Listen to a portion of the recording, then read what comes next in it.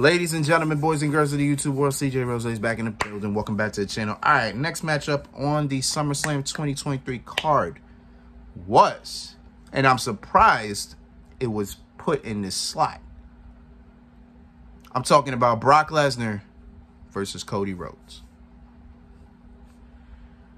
Now, when I saw this as the number two, the second match on the card, I sat here and said to myself, okay, Either Brock is busy, Brock got something to do later, Brock don't want to be here any longer than he has to, or there's going to be a, a shorter match than you expect.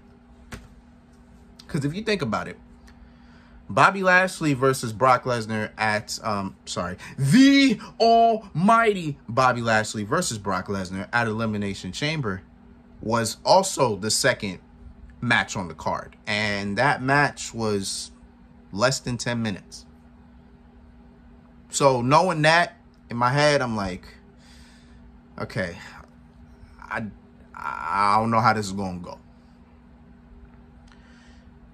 Now, I didn't know, well, not only that, but I also didn't know how the match was going to go, period. You know what I'm saying? Because this right, the, the last two matches, eh, they've been they've been iffy.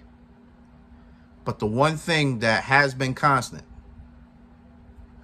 is that Brock never pinned Cody. Cody never beat Brock clean. Remember the first match, Cody caught Brock with a roll up. Or caught him slipping. I said that. He caught him slipping. And in the second match, Cody passed out. So Cody never even tapped either. So Cody never tapped, never gave up. None of that over Brock. Okay, sorry. All right, so yeah. So What is match number three going to give me? Match number three probably gave me a great illustration of what Cody is. Either is, I, I don't know how to say it, but it's like, it gave me an illustration of what Cody is. Cody is a passionate, man that will not give up in a match. You're going to have to kill Cody in order to beat him. It's pretty much what the subject of this was. And that pretty much ran true through this whole match, right? So in the beginning, you know, it's a back and forth type of thing. Cody got shot, Brock got shot, Cody got shot, Brock got shot. Then until Brock gained control and then he had control for pretty much majority of this match. I'm talking about control to a point, right? Brock hit a suplex. I think he hit a German suplex. But after but around that time, Cody was already getting beaten on so much. Co um, Brock hit a German. Cody will roll out the ring. And then probably after seven to eight, he rolls back in. So this was going on for a, good amount of time.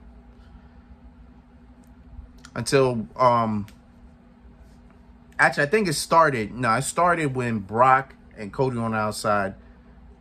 Brock just picks up Cody, F5 on the outside. Boom. Round the mat. Brock rolls back in and he just waits for Cody. Cody takes a while, but then he gets up just in time to get back in the ring. And then from there, Brock, every, every move Brock hit, Cody would roll back to the outside. Um, Brock would hit a suplex. Cody rolls on the outside. Brock would hangman. Cody's on the outside. Everything Brock did, Cody rolled back inside. And then within the, between the seven to nine count, Cody would roll back in.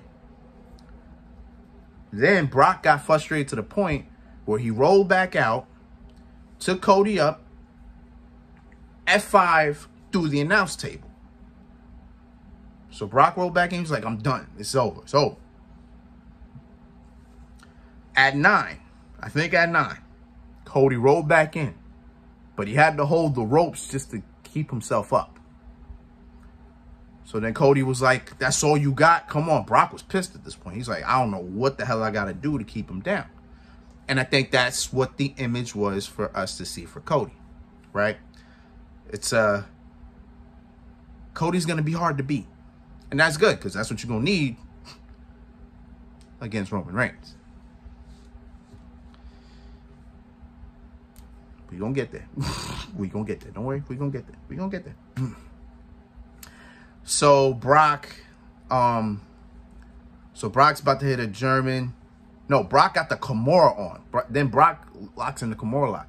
He doesn't have on. He has for a, a, a, slight long time, but not enough where, you know, Brock boom breaks his arm. No, just he just has it on. Cody's able to get to the ropes, boom, break that up.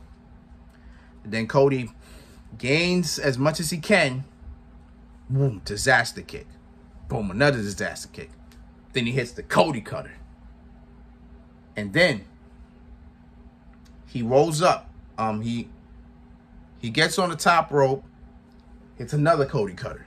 Looks crazy. Looks looks good. One, two, kick out, right? So then, um, Brock's about to hit an F5. Cody gets out of it. Cody pushes Brock to an exposed turnbuckle of which Cody exposed. So Cody had so Brock hits, you know, Brock always going for all these suplexes. So Brock went for a German suplex. Cody took off the turnbuckle pad, revealed the steel of the turnbuckle. So boom, that came back into play. Um, Cody rams Brock into the steel. Then boom, Cross Rhodes. Another Cross Rhodes. Boom, hits the third Cross Rhodes. One, two, three. Cody Rhodes beats Brock Lesnar, which was what everybody guessed. I did too, so it is what it is. We got the right, the, the right thing happened, right? And then at the end, Brock's up. Brock's looking at Cody. Brock takes off his his his gloves. Cody takes off the tapes on his gloves. Or the, I'm sorry, the tape off his hands. Brock just eye to eye with Cody. Extends his hand. Cody takes his hand. Starts hugging Cody. See Cody's face. He's like, what the hell is going on? Raises Cody's hand. This is about probably the biggest rub Brock has given anybody. At this point in time, this is the biggest rub Brock's given anybody. Brock's never done this before. He's never given nobody any respect. He gave Cody respect pretty much symbolizing he overcame the beast. He's ready for the next step. We don't know what the next step is, but hopefully on Raw, we'll see where the, what the next step could be. So we'll see what's up. But Cody Rhodes getting the win. Finally, that rivalry is over.